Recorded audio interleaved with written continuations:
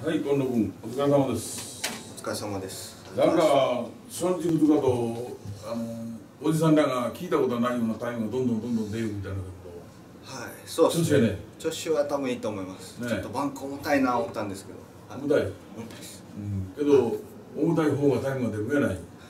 そうなんですかね。最終日でもでも軽いのを願っておす。ああ、一応ね、やっぱりはい走る人にしたら軽い方がええわね。はいそうですね。まだほんなタイムが出るということやね。いやそんなことはないと思うんですけど。はい頑張ってます。で、明日、今野君は、はい。あのー、逃げはあんまりせんの？いやもうそのまま出されたら逃げようかな思ってるんですけどその、うん。なんて言うんだろう。あんまりこう絶対逃げるとか絶対まくるとか決めないように、その流れを崩さんようにとは心がけてます。はい。まあそれで初日2日の足を見たら、まあ、コーチの不安も、はい。僕は不安のところでちょっと話したりするけどまあどぎも抜かれたような言い方が多いよ。はい。まあ、初日はちょっと失敗しちゃったんですけど失敗してもうなんだ13秒展開はい、うん、後ろになっちゃったんで必死こいてます。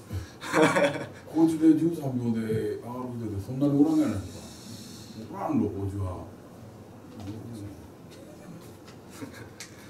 う んまあほんで、はい。あの今野君は明日あの先行とかまくりとかこだわらずそうですね自流れを由に行って時代に、そうですね見見送らないようにチャンスを逃さんような走りができたらそ,、のまま決まるんじゃないかな思うんですけど、うん、はい。後ろがそれとあの香川の人ですよね。網谷さん。はい。網谷君もリーチと上がってきてほしい、はい。これでまた2人が一日着を独占ししてくれたらそうですね。も喜ぶわ、はいもうワンツー決めたいと思うんいます、、だから明日は決勝に決勝は1位で通過するように。